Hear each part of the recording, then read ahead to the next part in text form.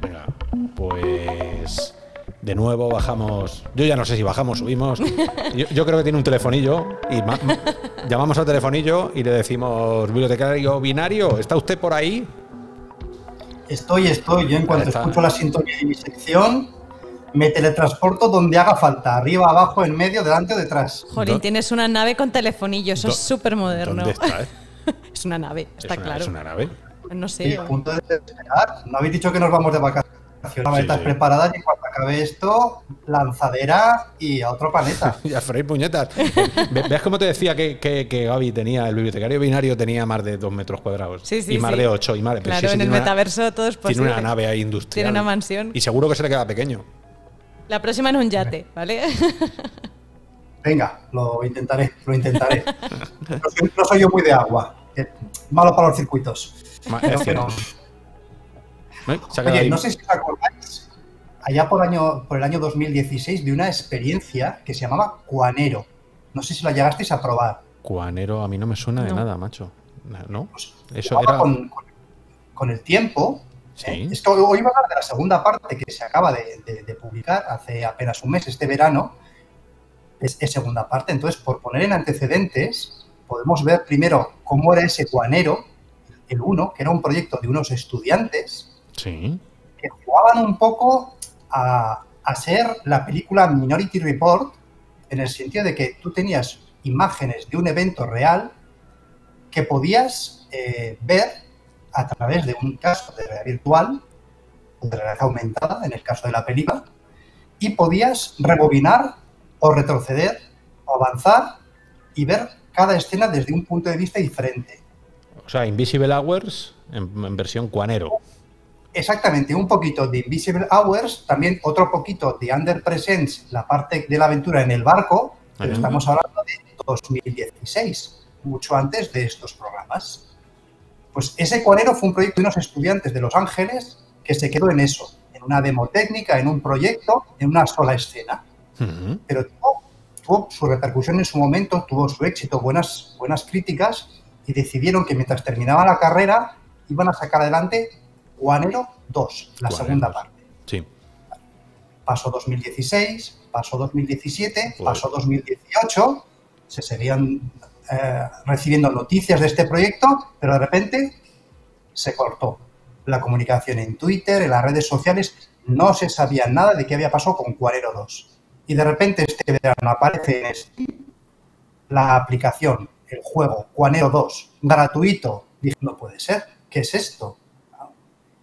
Pues es en parte algo bueno y en parte algo malo. Eso te iba a La parte, decir. la. La parte de la mala noticia es que el proyecto no ha terminado. Es decir, no es un juego completo. Se ha quedado, digamos, solo en la primera fase, ¿eh? en primera misión del juego. La parte positiva es que lo vamos a poder jugar y de forma gratis. Los desarrolladores al final, pues terminaron la carrera, a cada uno le salió un proyecto o un trabajo en un país diferente, no pudieron ponerse de acuerdo para, para terminar lo que habían empezado y, y- y dejaron el proyecto un poquito ahí muerto hasta que han decidido, oye, ya que estamos ahí y nos lo curamos mucho, estáis viendo ahora imágenes pues, del escenario, estáis viendo imágenes de personas que No, no, fueron muy creadas. currado, ¿eh? Wow. Muy, muy No, no, currado. o sea, tenéis que probarlo. O sea, si estáis esperando a que salga a final de este año Low-Fi o a jugar Cyberpunk Oh, por Dios. 2077 en realidad virtual, pero a lo mejor en 2077, o sea, si tenéis ganas de VR Cyberpunk, tenéis que probar Cuanero 2. ¿Y tú crees, tú crees que hay que jugarse? ¿Nos hacemos un cuanero 1 y luego un cuanero 2 o tiramos al cuanero 2? Sí, sí, sí, no. Primero el Cuanero 1, para Sí. que veáis el cambio. Cuanero 1 estaba muy bien, bien de gráficos para el 2016, sonido espacial. eh, Era bastante alucinante en aquellos, hace cuatro años, pues manipular el, el tiempo en realidad virtual. eh, Una escena normal de un juego de billares que se complica, una explosión, gente que cae por, un, eh, por- al acantilado de la, de la ciudad, poder retroceder y ver por qué había pasado eso, porque al final tú eres un detective que tiene que averiguar por qué ha ocurrido ese accidente en Cuanero 1 y en Cuanero 2 ocurre lo mismo.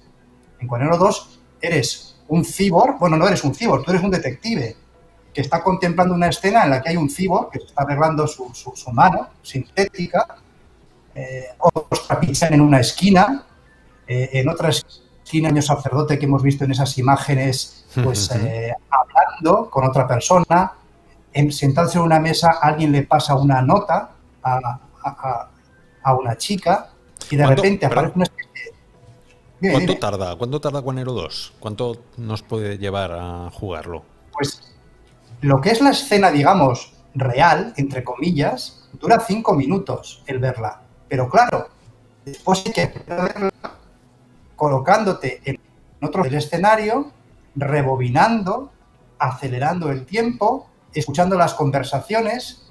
Quizá, como el sonido es espacial, quizá estabas en el lado izquierdo de la mesa y no escuchas el susurro del personaje del lado derecha, entonces te Mm. teletransportas o movimiento libre al lado de la derecha, rebobinas la escena y escuchas otra vez la conversación. Yo ya sé que, claro, como tengo que analizar esto, le dedico más tiempo de lo normal. A mí me ha llevado una hora. Yo creo que más de media hora la gente no creo que vaya a, a- a disfrutar de Quanero 2, porque al final es una experiencia un poco pasiva. ¿eh? Ya. El juego ha pensado que tuviera también interacción, manipular cosas, tal, pero claro, eso se quedó un poco pues, en el cajón. Ahora mismo es simplemente contemplar una escena desde distintos puntos de vista. Pero simplemente por el espectáculo visual que es, o sea, ver los personajes, los gestos, es que se nota que han trabajado con captura de actores, porque es que son perfectos. Y estamos hablando de un proyecto de estudiantes de hace dos años.